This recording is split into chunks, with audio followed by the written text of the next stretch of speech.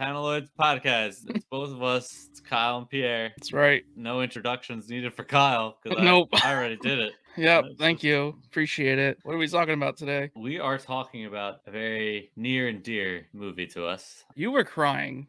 I was crying. I was in tears. We are talking about Wakanda Forever. Mm, Out of 10, what do you give it? I need to think of something creative. 10 out of 10 blue people. Atlanteans. Are they Atlanteans? Are they Talacamundo? Yeah, they changed their name. That's cool, though. They're cool. Blue people, cool. Hell yeah. So I'll give it a 9 exploding water grenades out of 10. Oh, that was Uh, creative. Good. right? That was good. That's good. Yeah, yeah, yeah. So I guess Spoiler. my biggest complaint is I don't love Shuri as much as I thought I would. I don't think you ever really necessarily were gonna love her. We're getting a little spicy towards her when Mm. she was, you know, rumored to be taking this mantle. For other reasons outside of the movie, just her own personal choices, I judged her on and continue to possibly judge her on. But I liked her better as a side character. I don't think that's why it's a 9 out of 10. I think it's a 9 out of 10 for me because I want to say maybe just a little too long and a little too jam packed with sad stuff. It was fucking sad. Like, what Definitely the sad. fuck? Yeah, no, it had me crying a couple times there for sure. And this is spoiler warning for Oh, yeah, everyone who please. hasn't watched it. But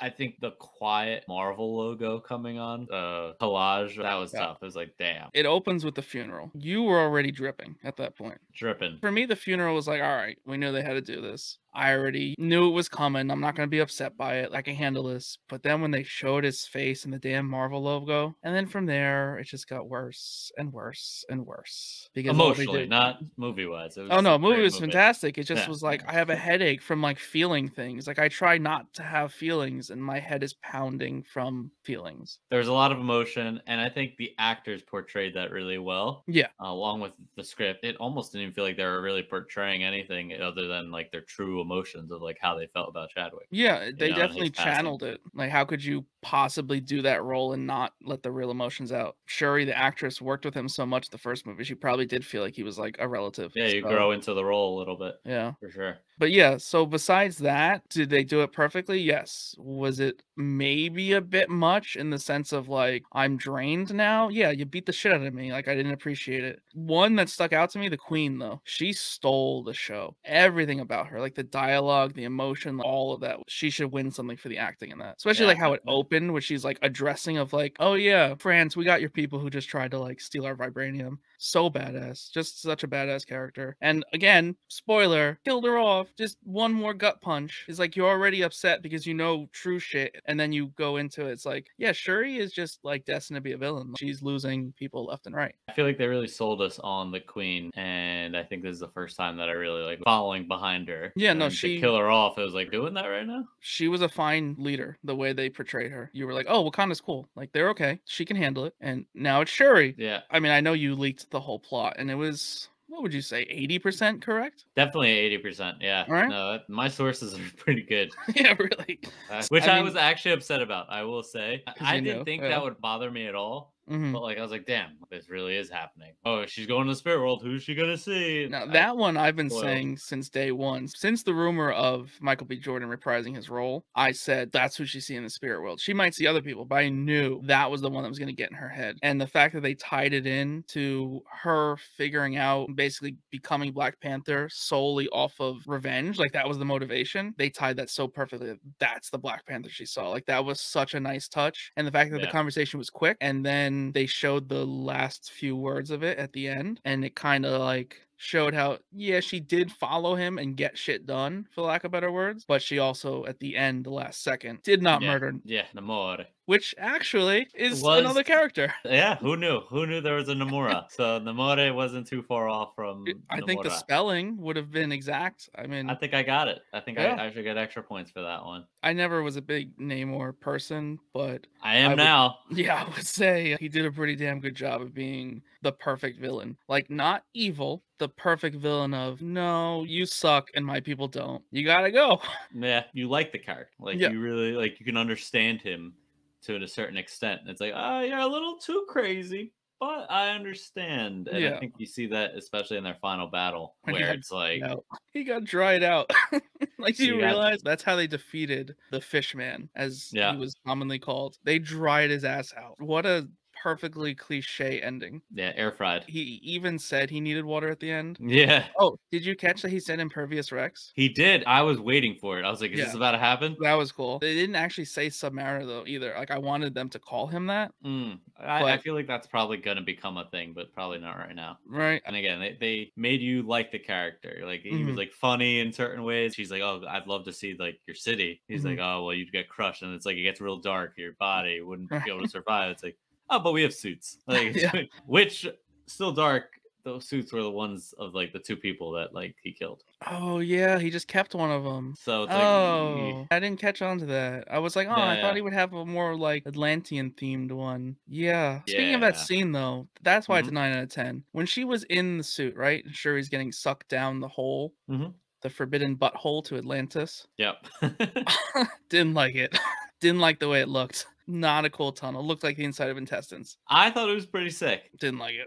I thought it was well done. I liked her being in the city and like meeting all the people. It looked beautiful. yeah. it felt like the first time we saw Wakanda, and I think they really did a good Mm. job at kind of showing the parallels between Shuri Mhm. and Namor and the things he was going through. Yeah, for sure. I gotta say everything was done so well, and they did everything. Obviously, we'll get to the after credit scene in just a few seconds, but I mean, we talked about this right after the film. But like, favorite fight scene, I didn't love the last one. I Mhm. mean, her cutting the spear and walking out of the spear, fantastic. But Mhm. the fight scene itself, that's I guess one other minor complaint. I wish she got her powers uh, Mhm. slightly sooner. I would have liked to see her test them a little bit before just throwing on a suit and on a revenge mission instantly. Would have just seen a little bit more of that. Maybe could have cut back somewhere else. Yeah, But the first initial time that they went to Wakanda and attacked it, all of those fight scenes are perfect. All that action sequence was perfect. Like that's to me was the best part of the movie. yeah. No, so you like that scene? I like the other fight scene too. Held down the side of the ship. That was cool. Fighting there. Yeah, That was that was cool. I just felt the ship fight scene felt a little silly. It's like you're going to fight fish people and you choose to take a boat. I understand you had a sonic weapon that was giving you an upper hand, but if you're fighting people who live in the water, don't try and get at them with a boat. Not the way Yeah. I would have done it. yeah, probably probably true. Yeah, but they were gonna lose. We talked about how like there was only like twenty of them, and then there was like mountains and mountains of people. the size of the boat also hurt their numbers. I guess that was the concept. They didn't want a war. They wanted something to extinguish it in a sense. So Yeah. they needed to get him and get him weakened so he could be handled so they can stop anything from happening. Like take the head off. The rest of the army falls. Did you at any point think she was really gonna kill him? I hoped she did. It would have really put her in a different standing where she would have been Black Panther, but she wouldn't have been an Avenger. She's Black Panther. Let's face it, they're going to throw on some team at some point. Most likely, they plan to. But the grounds they've laid is she's Black Panther. She should end up on a team. If she killed him, it wouldn't have been that way. It would have been a, yeah, this is someone who's very powerful and does help us, but it's also someone that we don't have that relationship with as a team because she, you know, took a darker path in a sense. I think the way they did it obviously was the Disney way to do it, and it was great. I would have been upset if they killed him. I mean, I just wish she cut off all of his wings on his ankles. They were disgusting. All the CGI was great, but I really didn't like it. I was like, all right, cut the rest off and we'll be done with this bullshit. The fight scenes where he was actually using them and flying. I can't think of anyone that quite moved that way and took advantage of an odd place to have wings. Yeah. No, they did a good job utilizing that and making it cool. Yeah. I mean, I feel like it's a hard thing to make look cool on screen. You know what I did notice? A lot of the headdresses were made of feathers. Okay. Oh. They live under the water. Hmm. Only one creature, or should I say mutant, has feathers that would be accessible to his people. So I'm under the impression that every single headdress in the whole underwater kingdom is just Namor's ankles. They can come out of the water. They've They turn for blue. They turn blue when they come well, out of the his, water. his headdresses had different colors in there. Um, I don't know. Maybe they just dye his ankle feathers. That's weird. I mean, maybe he grows back because he did get one ripped off. How did you feel about that? How they blatantly were like, it was a mutant thing because, like, she took it when she was pregnant and I'm a mutant. Hey, he's the first mutant. I'm glad that they did some sort of nod to it. Yeah, I liked it. Uh, the ears know. they pointed out too, which is good. He was well done, and I love the origin that they've created for him No, through yeah. the MCU. I think Fantastic villain. Definitely won't be the end of him. He will save the day somehow. Like he said, Yeah. Wakanda has no allies. I think that at one point he will be called upon and be this obnoxious of power. But yeah, let's jump right to the end credit scene for a second. Okay. T'Challa got his girl pregnant and then he turned to dust. But we know for sure that she didn't and the kid didn't, being the kid's age, right? He's got to be at least like eight. Right. Right. So it makes sense. But he met the kid and then, of course, passed away from nothing they're calling more than an illness in the movie. Mhm. Why are they hiding the kid from Wakanda? And is this all just a play to have another Young Avengers character if they decide Shuri is an Avenger or if they decide that they don't want Shuri at all? Yeah, I think it's just setting something up for the future, just like a backup plan. Now, in the comics, obviously, as a kid was Storm, and as you reminded me, there's that next Avengers cartoon where his kid's on the Young Avengers pretty much. He's got electric powers, so he's Yeah, like Black Azari. Panther with electric. Azari, right? I mean, I don't think he's gonna be him per se, No, I don't think it can be Azari because the electric powers just wouldn't make any sense. right? I'd hate to say that they're like writing it out. I'd hope not. I hope like they're still gonna bring Storm into being part of Wakanda. And I was gonna say, what if Storm's a kid, right? And she meets this T'Challa. Oh, I mean, that would be some real head of the time planning. That's not a bad idea. And I'm glad I just thought of it right now. How about Ironheart? What were your feelings on that? Because I know some people online, specifically Soups, got a lot of hate for saying that he was mad that her origin was forced into it. Hmm. I didn't really feel like it was her origin. I kind of just felt like it was a, a stepping stone for her origin because she already had a suit. Yeah. Yeah, I don't really feel like it was forced on us either. I feel like it, it made sense. Like it worked for the story. Right. She's the and it reason that the character. everything happened in a sense. Yeah. no, I mean, she it- made the machine that found the vibranium that started everything. I think it was cool, and I don't really think we need a origin necessarily. Like you can just kind of now go from this story and go Mhm. into something else, and you can still have glimpses at like what brought her to what she is. Like with her dad, she mentioned her dad and Right. her built that car together. I Mhm. think you might see, you know, in her own something like that. But like you said, I don't think it's necessarily her origin. I think it's a stepping stone. I would think in her show they'd have some flashbacks of some of her traumas, because every hero has trauma, right? Yeah. And kind of show her making her Mark Three, I guess it would be now, because Mark Two she wasn't allowed to take from Wakanda, which was smart because it was ugly. Biggest disappointment for me was the Ironheart suit. yeah. I thought when they were building the Midnight Angels suit, Mhm. I thought that was going to be the Iron Heart suit. Oh, like Yeah, here, like, make man, it that thing yours. gets uglier, da da da, and then like she gets there and she's like, "Oh, I could work with this," and then makes it that. I thought that's where they were going with it. Although the Midnight Angels is a thing from the comics, so that was cool. To Yeah, that definitely. I don't know much, but from just the quick memory, the suit was pretty like comic accurate. Yeah, Although Yeah. I think I told you this too, I thought that she was gonna come save the day sooner in that suit. She made so many comments that was ugly. I figured she'd throw it on on her own, not at the very end of the movie. But it made sense to have T'Challa's ex girlfriend because of the after credit scene. Like they needed to incorporate her in a way. yeah. I almost forgot she existed. Not gonna lie, you know, she visited her. I was like, "Oh wait." I forgot how badass she was. I didn't Yeah. think she was like soldier. I thought she was just kind of like a spy, not like murder people spy. And oh, you had said this too to me. The kind of reason shit went down wrong is because Shuri didn't get a chance to save that Atlantean that she shot. yeah, yeah. So this whole movie, everything could have just been stopped, and they Mhm. could have probably been friends earlier on, and not need to kill people for no reason. Yeah. if they just stopped for two seconds and just healed the one girl. She died, and that caused this whole issue. Would have been a different vibe for sure. Still probably been Yeah. a fight or something, but it was just like, well, now you did it. Yeah, Queen probably would have been alive. That was a tough one. And she drowned saving Ironheart. Like, come on. And I like the fact that Ironheart's like for the Queen. Like that was cool. Yeah.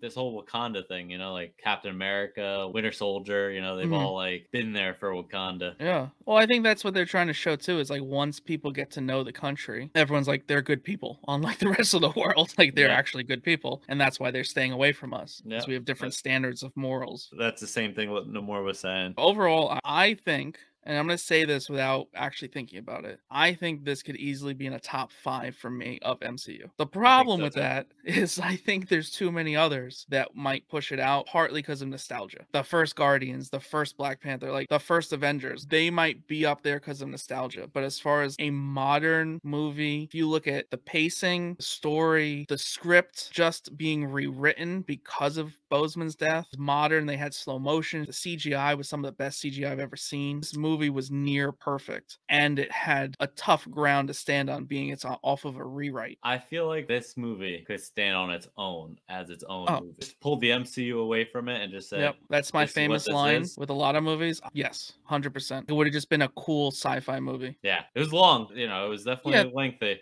A little long. Some of the dialogue was like top writing. Some of it was kind of like I was thinking about it too. It could just be because we're starting to get a little old. Maybe certain I- things like didn't click the same. I was happy with all of it. So, Yeah, maybe I'm just getting old. so going into some of the Easter eggs, you know the voice of her AI. No, I did not. It's Trevor Noah. No, how do Nah. I feel like I knew that? I feel like I might have known that. I'm a big fan of him. I actually read his biography. That's uh, cool. Yeah, so he is the voice of her artificial intelligence. It's fantastic. Anderson Cooper making an appearance was cool too. I thought that was actually funny bringing that up, her AI. So the fact that her mom was like, "Oh, don't you feel like you know the AI? It's a little risky, like da da da," and Shuri's like, "I'm confident, you know, Oh, AI won't get out of hand. Like it just does what I want." Yeah, like, but it's like you had to hear about Ultron, right? Like it wasn't Yeah. kept secret. I don't know if when she was saying that, it was kind of like a jab towards like Tony letting Ultron like out of control, Probably, yeah. you know? Because I mean, she knows about Vision, hmm so she has to know about the whole situation. Yeah, I would say it's a jab or just a jab at that movie not being that great. T'Challa's funeral in the movie includes his challenge weapons and the helmet from Captain America: Civil War. Okay. So during that funeral scene, pretty emotional. I was rubbing my eyes, my tears out of there. What kind of symbolically represent his victories over the years? I like it. And the Black Panther helmet was the one from Civil War. Which is the first time we've met him. hmm That's pretty cool. I did like, speaking of helmets, the fact that she designed her uh, Black Panther outfit based off of Killmonger instead of T'Challa's. Which I think I said before. Watch, You definitely said it. it goes a little gold because she's a little more, Yeah. you know, rough. You 100% said it, and uh, yeah, you called that perfectly. Slake Bell makes her live action MCU debut in Wakanda Forever. So she is one of the Hmm. two specialists in the CIA expedition for the vibranium deposits. that actress is the voice of Poison Ivy in the Harley Quinn cartoon on HBO. Oh shit! Wow, Yep. that's interesting. She actually is the voice for Natasha Romanoff in Marvel's What If. Oh, that is interesting. I like her. She might be I think- gone though in the MCU I now. think that's it. Which is crazy because I feel like she's like a bigger actress. No, I don't know why they had to throw her into the ocean the way they did. yeah, disrespectful. Oh, and not for nothing, she did not reload her gun. She Mm. shot like 25 shots and didn't reload once. It was just a pistol. You're saying it wasn't accurate. Uh, yeah, little error there. She was reloading while she's running because she's that skilled. Maybe I missed it. I did like the sirens, by the way, how they they were singing and bringing all the men into the water. Just yeah, that was creepy. Didn't like that. Yeah. That gave me anxiety because I don't swim well. I don't know if that's even too polite of a word. That gave me anxiety. People just walking into the water And didn't feel good. Yep, didn't like it. This movie was dark. It was. It was definitely super like, dark. a darker twist to it. I, I liked it. asked for this though. Yeah, so did. complaining about that at all. I'm just complaining that I guess I am complaining. It was sad. Like it wasn't like dark sad. It was just like mourning. Like we just I felt like I was mourning people the whole movie. Tell you what, if you were to ask me, and I'm surprised that you didn't ask me this, Mm. which movie I like better, Thor or Black Panther: Wakanda Forever? hmm I would actually give you Wakanda Forever. Really? Didn't you give them both 10 out of 10? 10 screaming goats compared to 10 blue people. We have to evaluate your grading scale of how high you're grading things. Like you, you're overshooting everything and what you're choosing. yeah. Oh, who was Mbaku gonna fight at the end? I don't know. Shuri wasn't home. Who was he fighting? I don't know. He's just ready. for the after credit scene did she unknowingly go to pick up that kid so she could bring him back and Mbaku could beat the shit out of that little kid? Yeah, I don't know. I'm very interested to see where that's going. Right? But Something's up with that. I also that- don't that understand like why. Bro, everyone just died. All these people, Yeah, you know, are you like we fought people? together. It's like, oh well, I gotta take this shit now. This is my shit. It's like, why? Like I thought we were all good. Very frustrating. Um, I love that character though. I actually think he was fantastic. Like I'm glad they ended up giving him more screen time. But like, what are you doing at the end? Like, what are you trying to cause? He did a great job as, a supporting character for sure. Yeah. There were some scenes with him where it was just like it was good. Like I think the first time he sees Namor, he's like, ah, fish man. Oh, and yeah. he jumps out of the boat like ready to just like destroy him and gets No, the- his ass kicked. The best line is when they're like all arguing, and he was like, "Quiet, you bald-headed devil!" like that was Yeah. so. that was so great. he Uh, delivered it so well.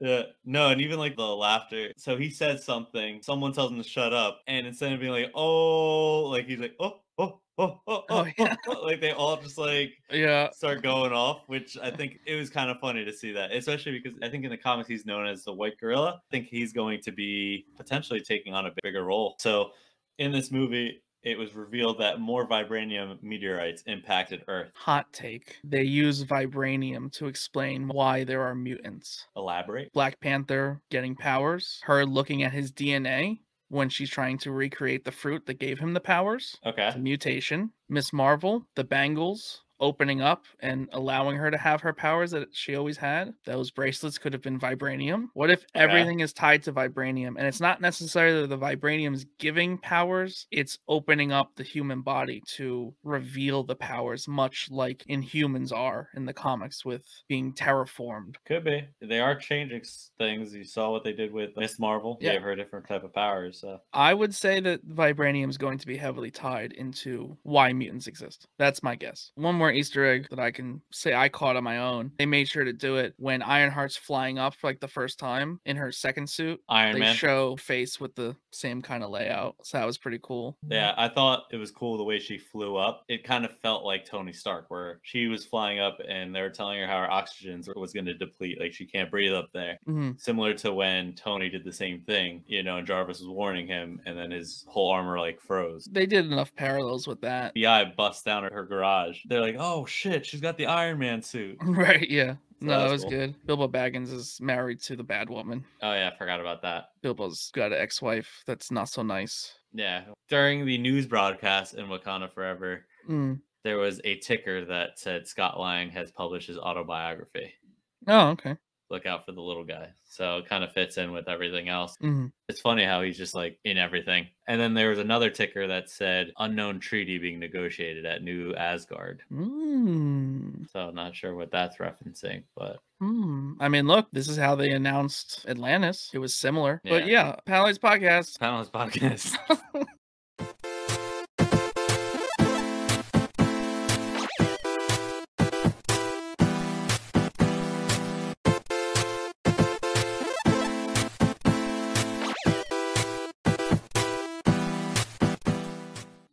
No more. Name more. Namore Name more. No more. goes both ways. Both are correct. He goes both ways. Probably does. He's been around a long time. I feel like he if you're probably alive, does. Wouldn't judge him for it. Yeah, like if you're alive for like thousands of years, you gotta test the waters, right? test the waters. Oh, that's a good one. Ah, Ah, That was good. That was good. that's good. That was good. Yeah. All He probably has been with fish too. Paneloids podcast. the whales, though, they're like using their flippers to like fling people up into the That's a ship. cool way to use fish. It was like I have similar powers to Aquaman, but Yeah. I'm not Aquaman. Like that's the way you use fish, not like yeah. anything else, because that would be wrong. Yes. Paneloids podcast. Ryan Stegman. Who is he? Is he a hero? A vigilante? A criminal? Find out next time on On Podcast. podcast. All right.